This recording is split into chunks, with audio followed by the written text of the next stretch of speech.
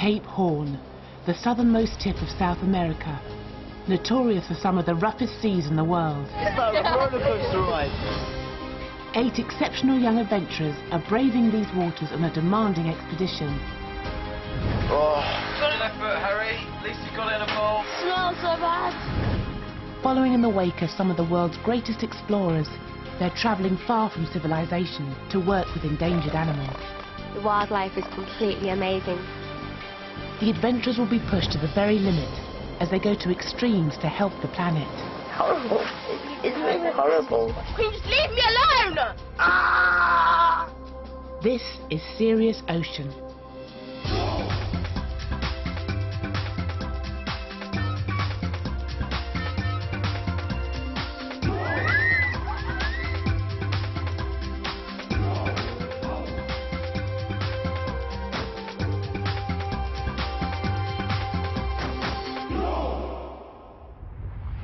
Coming up, exploring the undersea world, It's beautiful down there. I love it. I love it to bits. struggling in the extreme conditions, So funny, Niall. I want to go home. and reaching spectacular new heights. I'm far and beyond like what I thought I could possibly do. Go, go, go, go, go, go, go, go. More effort, more effort, more effort. The Ocean 8 set off just two days ago on their epic voyage. On the cramped boat, cabin fever soon set in. You're taking over! Damn it. This boat is a nightmare. Sailing into their first ocean swell, most of the team were laid low with seasickness. Yeah. Oh, it's painful. It was a gut-wrenching experience, but it actually helped bring the group back together. We all feel like united again. Day 3, 7.30am, and expedition leader Ben has to wake the tired team. Wakey, wakey, rise and shine. You've had a nice little lie in this morning. No, too tired to get up. The adventurers are still finding it hard coping with the lack of space on board. I can't find my boots either. I've got no boots. Can I get through? I've got some boots. It's really, really hard because everyone's stuff kind of gets mumbled up and then nobody knows where anything is. I understand it. It's just difficult and annoying. They haven't quite got it into their heads about how important it is to know where everything is at all times. They'll get there, but it's just adjusting to life in a different place. You put something down and literally it just goes. Today the team will get their first glimpse of the undersea world, as assistant leader Polly explains. We're going to go for a snorkel. Obviously, the water is freezing. Oh, you will never have experienced oh, water like this.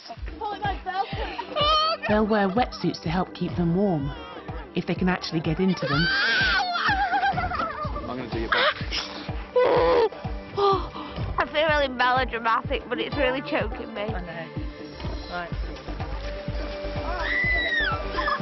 I guess you're all acclimatised now. Each adventurer also needs a snorkel and flippers. Don't try and walk around in them because you'll be flat on your face. David, go to. The water is just a couple of degrees above freezing, so even in wetsuits they'll only have around half an hour to explore.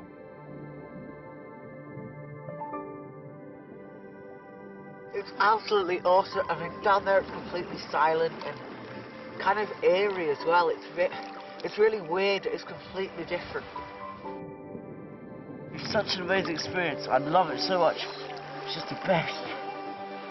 And they find the ice-cold waters full of marine life. I've got a starfish, but you have to dive down to get it, and it's really scary diving down in all the like reed bits.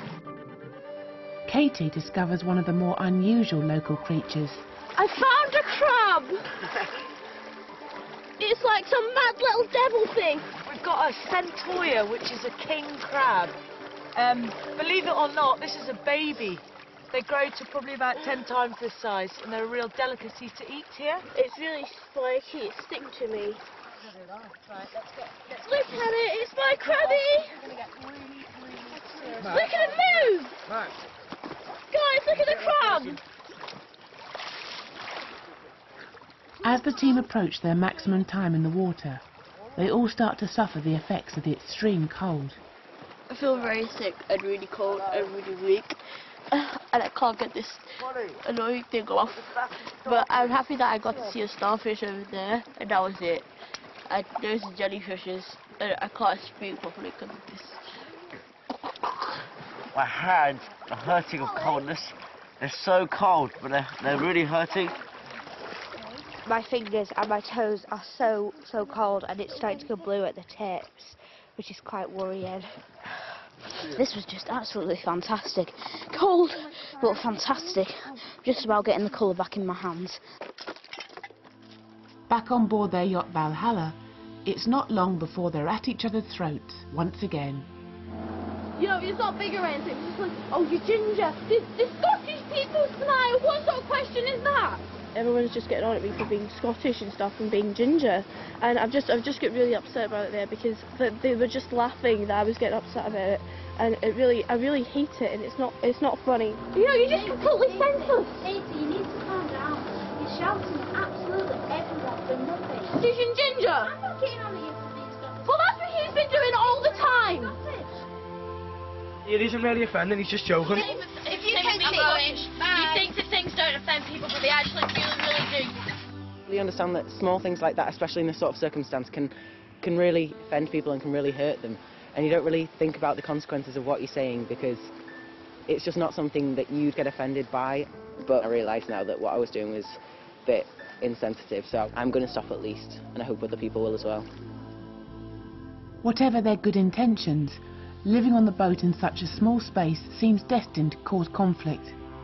I'm not doing the washing up. Why? Because yesterday I did it and my, my hands froze. I That's a to do stupid it. reason. I refuse to do it. Sybil's point-blank refusal to wash up sparks the next on-board bust-up. Why, why has she got like some sort of phobia of washing up? We're going to have another pathetic argument, aren't we? No. Sybil, will you do some washing up? No! Oh. Give me Ay, caramba! Chill out, chill out, chill out. She's just finding something to moan about, so she doesn't have to do anything. She was slagging on. Can you please leave me alone? I am. I'm trying to fix my bed up. Can you just leave me alone? Oh, School, I can't take it here. It's not funny. Oh. I'm just not happy. Sybil is in no mood to compromise, and her fiery temper isn't helping. People kept demanding stuff from me, saying, "Oh, come and dry up the plates and stuff," and I was really getting annoyed because they kept saying it, and I was trying to in the middle of something else, and when you keep saying stuff to my ears, it really gets on my nerves. So I just blew up, just what I usually do, blow up. The leaders are concerned that her attitude is affecting team morale. Sybil, for me, is the one person that I feel has kind of let me down and let herself down so far because she's not integrating uh, and she's not giving it her all. Um, and that is a big worry because in a confined space, it's only going to get worse. It's not going to get better unless she wants to do something about it. The team are continuing their journey down the historic Magellan Strait. Today they have a voyage of just 25 miles, about a three-hour sail before they spend their first night camping ashore. The young adventurers are sailing in the wake of the great Portuguese explorer Ferdinand Magellan, who almost 500 years ago led what many believe was the greatest voyage discovery in human history. At that time, much of the globe wasn't mapped, and there was no known route to sail from the mighty Atlantic Ocean to the Pacific. With staggering courage, Magellan discovered a way through, the passage now known as the Magellan Strait. And his expedition was the first to sail all the way around the globe. Now the Serious Ocean team will relive a key moment in the discovery of the strait. Local legend has it that as Magellan sailed the uncharted waters, he sent his men up a mountain to see if the route might lead to the Pacific. 500 years on, the adventurers will try to scale the same peak, almost a thousand meters high. Looking really, really remote and steep. This looks really quite adventurous. It's the first big physical challenge of the trip, and Harry's not at his best. It's a bit cold and a bit homesick.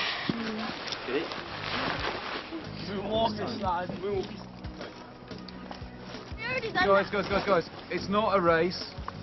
Just take your time. I don't want to see twisted ankles or anything out, slipping over these rocks. Tree!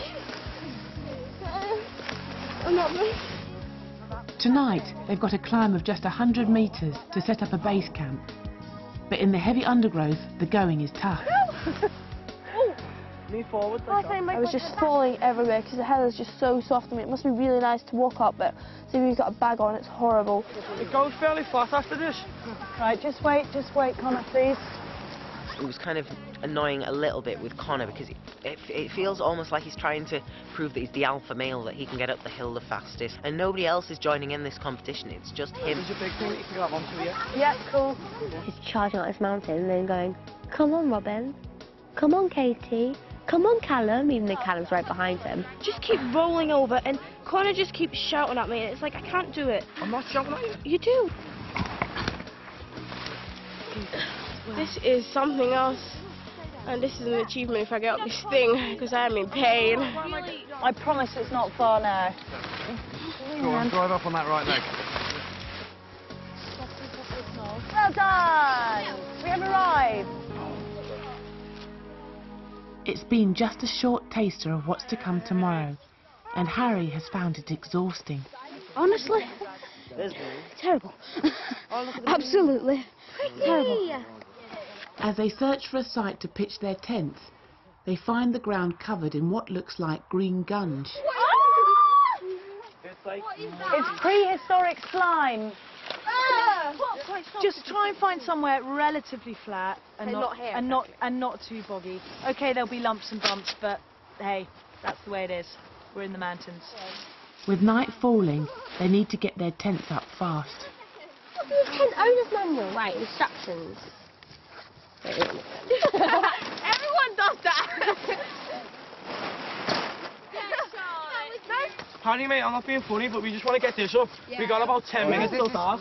Connor is in his element, and the boys' tent is going up in record time. This, this bit is right, honestly. I know no, no, that is, that's not It doesn't right. watch. Seriously, remember it. This clips on the front. Oh yeah, you could be right actually. And then yeah, we wait. Yeah. In which case, then where does the bendy come That's right. That comes over the middle to hold the middle in place. Harry clipped these on. Connor is right. Brilliant. Connor's always right. Connor's never I right, to be think honest.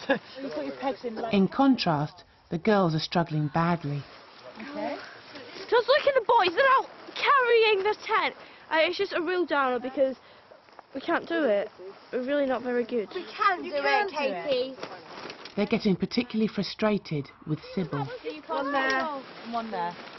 I think you can probably oh, walk. Sybil, please stop just standing around. I'm not just standing around. Can you shush? Um, it's not going particularly well. Everyone's arguing. Everyone's having a go at Sybil because she doesn't really pull her weight as much as I really think she should be. Right, Sybil, do you want to do something? I gave up trying because I feel really, really dizzy and sick. And people are telling me, like, do this, do that, do this, do that. It really is annoying. It was all just moan, moan, moan. Poor old Sybil. And, you know, she's just, uh, she put no effort into that tent thing. She can't get her head over that everyone else has experienced exactly the same problems as her. Even when the camp is finally completed, spirits continue to sink. That was my toothpaste then that somebody picked up before. I can't brush my teeth with that. Someone shot my, my sleeping bag in the muck over there when my sleeping bag's meant to be in my bag. How does it get out there? It's really depressing. I can't get up without brushing my teeth. It's not funny, Dio! I'm fed up with and I'm missing home. I just. It all seems a bit too much. the worst day in the world.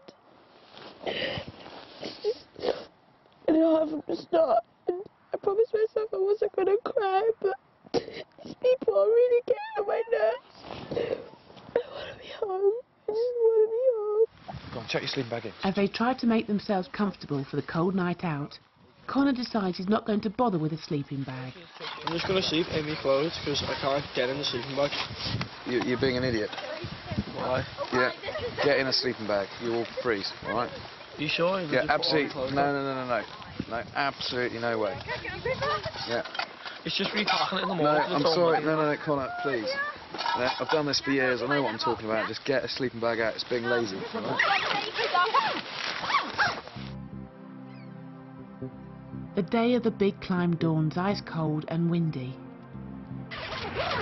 Right, it's 10 to 6, all right, girls. Rise and shine. Morning, morning, morning. I'm too tired. We got some sleep last night, but I really don't think it was enough. So I think it's going to be a real struggle today. I'm really tired. I was first sleeping on the boat. It's cold. It's freezing cold up here. Having left the relative luxury of the boat, the team are faced with mountain rations. Just get down your neck, David, because any liquid's good. Oh, it's ultra good for digestion. It's really good porridge. I, I like it. Yeah, it's good stuff. Horrible. Polly, I can't, I can't eat this. I'm just feeling sick. I, I can't eat it. Actually, it makes me want to throw up. That's quality porridge, though. Suddenly, out in the Magellan Strait, something catches their eye. There. Throw, throw tail. Right, right, right. Oh, throw its. Okay, Yeah, okay. yeah. They've spotted a humpback whale. Just focus on that spot, and you'll see, and it comes up, you'll see the blowhole first, and it's breaching. Absolutely massive. As you see it, it's the tail. Yeah, um, yeah. Okay, bottom, yeah. These waters are renowned for their wildlife, and before the big climb, Ben and Polly gather the team for a surprise announcement. Got a bit of a, a treat for somebody. That is to go off scuba diving. All right? And that's going to be scuba diving in the Straits of Magellan. All right? So that is a bit of a once in a lifetime opportunity. Who that person is going to be is totally up to you. Okay? Each adventurer will have to vote for who they think most deserves the experience, though Callum, Charlotte and Harry are ruled out, as they've had asthma in the past. I vote for Robin Vote for Robin. Yeah. Okay. Why? because she's been really, really nice to me the whole trip. I vote for Robin. Why? Just because I always feel like if anyone's ever upset, she's the first one to be there to help them and to make them feel better about themselves. Okay, I'm going to vote for David because he was on the ship and he was just chucking up so badly. But even though he's been the most sick out of everybody, I think he's been the one that's been sort of least complaining about it. Can I vote for Robin because I think that out of everyone, she's the one who's been least argumentative about everything. I'm going to vote for Robin. It quickly becomes a one-horse race. I'm going for Robin as well. All seven of Robin's teammates vote for her. You're going to go for Robin as well. Good on you guys. Robin. Looks like you're going. It looks like you're going diving. How does that feel? you slightly scared? No, really No? excited. Right, there is a little twist in the tale because actually, we, we told you a little porky, there's actually two spots to go scuba diving. And so the person that got the next amount of votes, which is David, you're going to be going diving today. Happy smile, yeah? No, he, he doesn't want to go. always did it happy.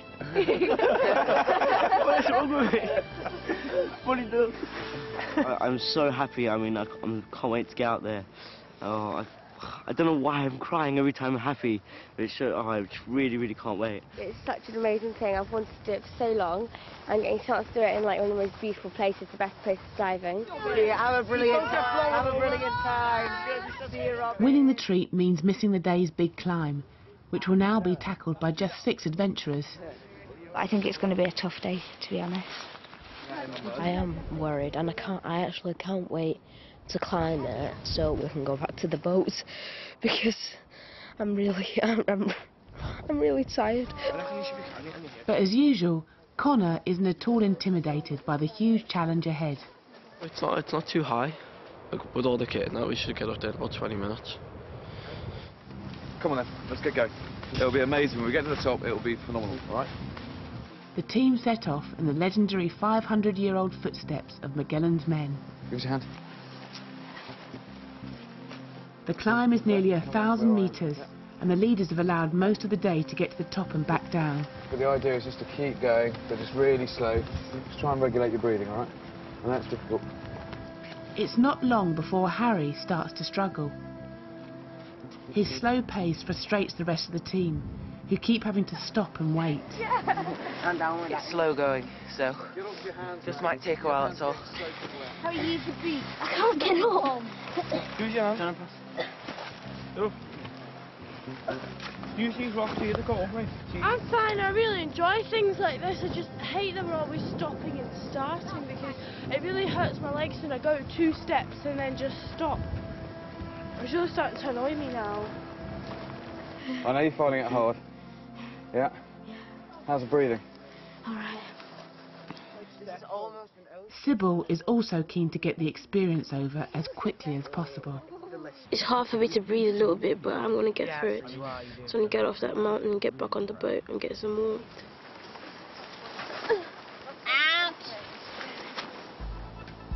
Meanwhile, in a very choppy Magellan Strait, the dive team are having quite a ride. I don't feel sick at all, but I'm, I, I'm scared. This is mental, this is. I mean, we're rocking from side to side and we're literally falling into the water. They head to a much more sheltered bay for the dive itself. But before they go in, there's a lot to learn.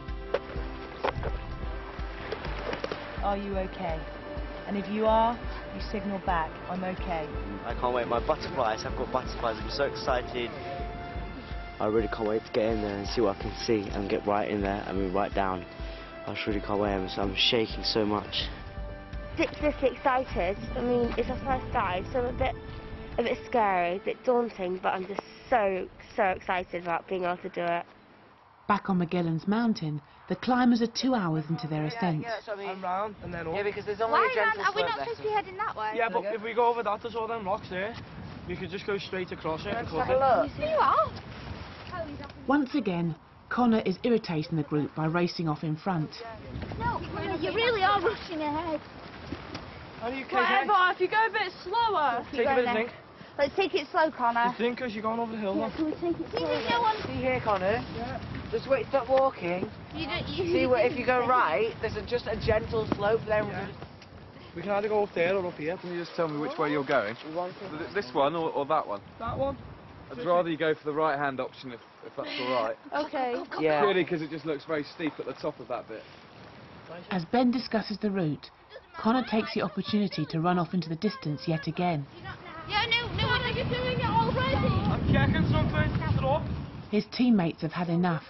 They decide it's time to clip his wings. I don't know what it is. He just can't help himself getting to the front. I think it's his little alpha male status.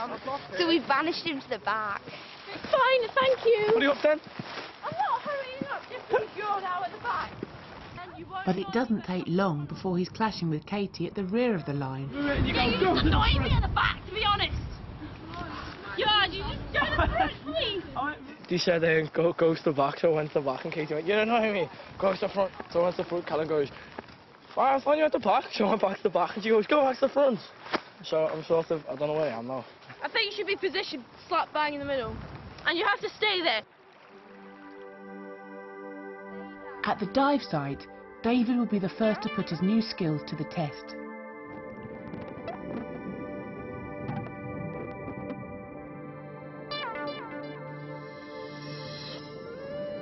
But almost immediately he has a problem. His ears are giving him terrible pain. He heads back to the surface to see expedition doctor Antonia. It's just the pressure of the water. We'll maybe get you out and we'll probably have a just check inside your ears when I throw a torch, okay? You gonna come sit down? It started hurting so much and they still do. It's literally like someone pushing her head in. Oh. Ear pain is one of the most common problems for scuba divers, caused by the increasing pressure of the water the deeper they dive. Really disappointed that I'd really like to try again a lot, but I mean, not right now. It just gave me, it's giving me a really bad headache. The higher they climb up the mountain, the more stunning the scenery, and the more Sybil's spirits are lifted. I'm feeling very happy now, and it's really easy now. It's no longer that cold. This is really cool. I can see the view. It's really beautiful. The terrain is getting steep and treacherous. I'll do it. I'll do it. Whoa! But Harry is digging deep to keep going. Use the edges of your boots, alright? I couldn't find a foothold in some places, so it was quite hard, but I've done it. I'm only a few. It's not that. It's not that much now to um, the summit. David can only watch as Robin gets her first full dive.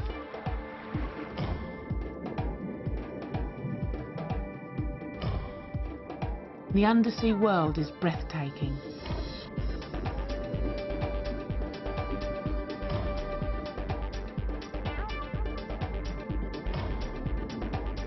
Among the sea life she encounters is a huge mass of pink jellyfish.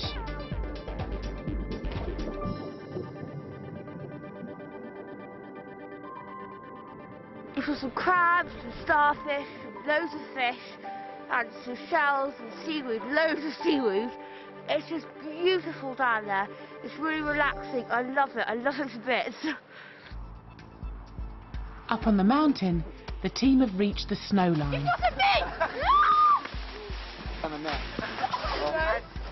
I'm coming! It'll take just one final push through the spectacular snowfields to reach the summit.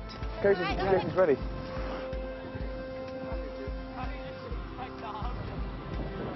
And after a five-hour climb, all six adventurers make it.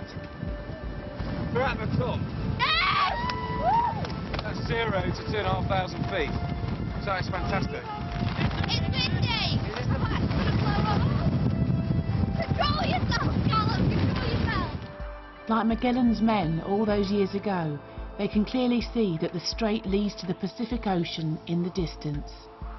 I can see why they came up here because you, you really can see everywhere from here. So it's really amazing to be up here, to be honest. 500 G's we're like one of the only people to come back here. And not many people now are going to come back here anyway. It's so hard to get to. It's mind blowing. I feel really, really happy that I did it because I know I've accomplished it because I really feel like giving up. It feels absolutely amazing being up here. I've always wanted to climb a mountain and now I really have. I've stretched my limits, really. I've gone far and beyond like what I thought I could possibly do. Next time on Serious Ocean, napping on night watch, close encounters with elephant seals, A fantastic experience, 10 out of 10. and high emotions on the high seas. You just realise how far away you are.